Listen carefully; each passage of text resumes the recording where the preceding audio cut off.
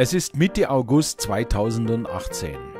Wir nähern uns einem Waldstück bei Münzdorf, einem Teilort von Hayingen auf der Schwäbischen Alb. Hier betreibt seit mehreren Generationen die Familie Geiselhardt die alte, heute fast ausgestorbene Handwerkskunst der Köhlerei. Dabei wird aus Scheitholz durch Verschwelung Holzkohle hergestellt.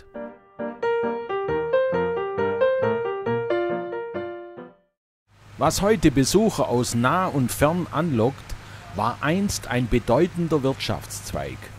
Holzkohle war bis ins 18. Jahrhundert der einzige Brennstoff, mit dem man die nötige Hitze für die Eisenverhüttung und Glasproduktion erzeugen konnte.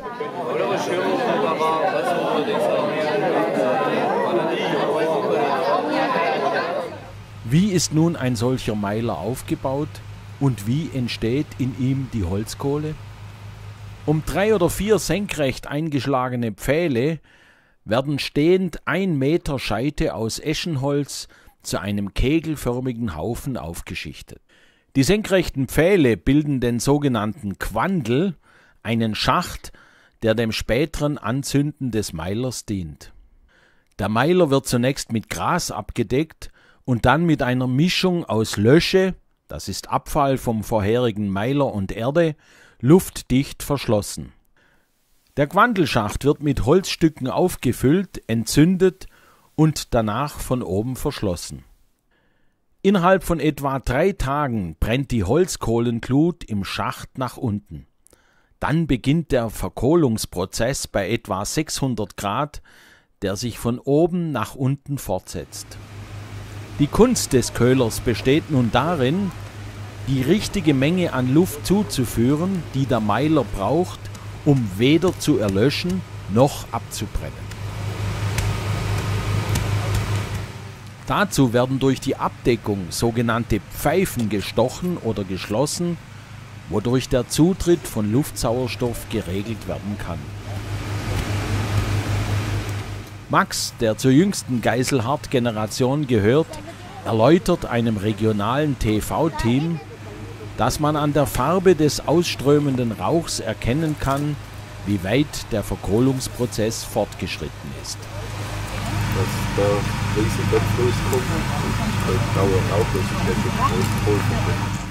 Bei der Verkohlung und der Luftabschluss verdampft zunächst das im lufttrockenen Holz enthaltene Wasser.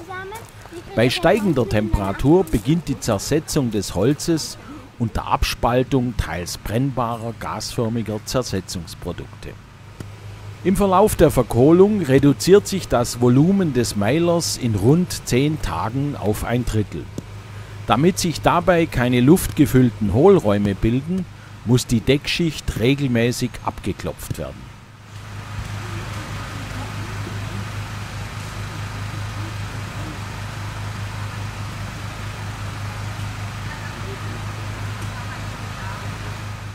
Da während der Verkohlung alle zwei Stunden die Pfeifen kontrolliert werden müssen, übernachtet der Köhler während dieser Zeit in der Hütte neben dem Meiler.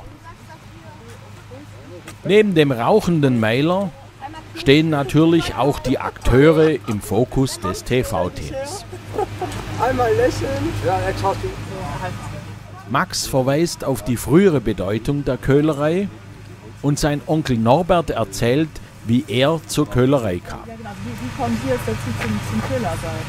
Ähm, ich, habe ich hier eigentlich eine Ausbildung gemacht von, von Anfang an. Ich bin seit, seit ich ein kleiner Bub war, äh, hier auf der Kohlplatte. Ähm, das kam wahrscheinlich so zustande, er ist mein, mein Taufpate und hat mich auch gleich bin mein Vater und meine Mutter gefragt, äh, hat mein Vater und meine Mutter ihn gefragt, ob er die Patenschaft übernimmt, hat er gesagt, ja.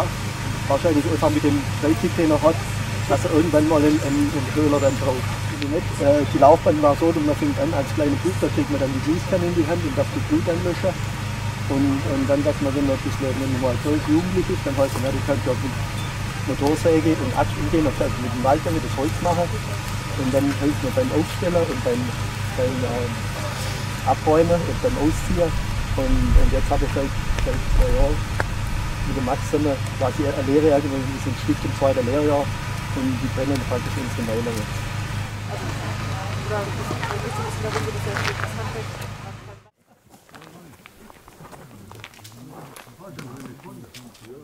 Einige Tage später.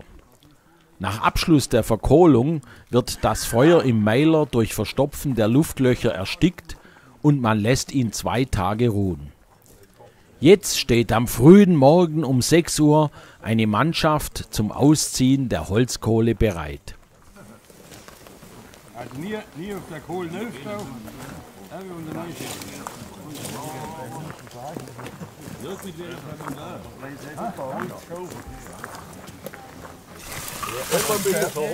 Mit Rechen, Forke und Schaufel wird die Kohle ausgezogen und zum Abkühlen ausgebreitet.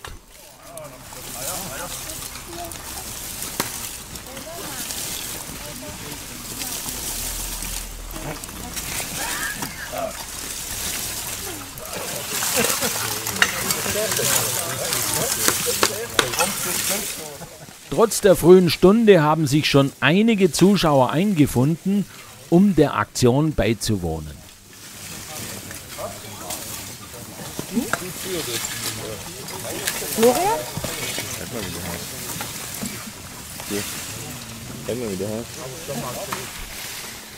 Das Interesse ist allerdings nicht bei allen gleich groß.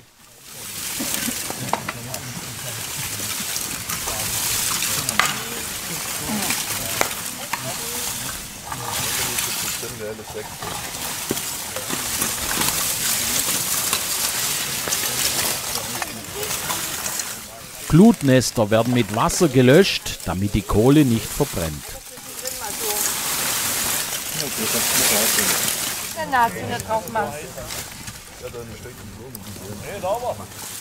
Die Qualität einzelner Stücke wird überprüft und was nicht vollständig verkohlt ist, wird aussortiert.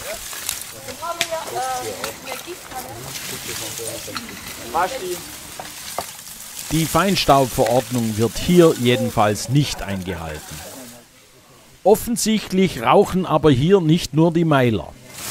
Also meine Vorfahrer trennen 50 Finger, so kurz wie wir. Und, wir jetzt mal länger. Die bisherige Ausbeute sieht jedenfalls schon mal ganz gut aus.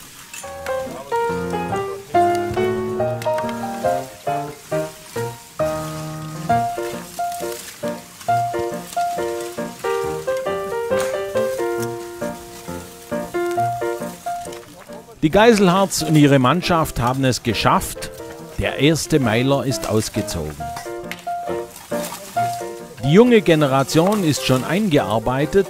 So bleibt zu hoffen, dass diese alte handwerkliche Kunst hier noch lange gepflegt werden kann.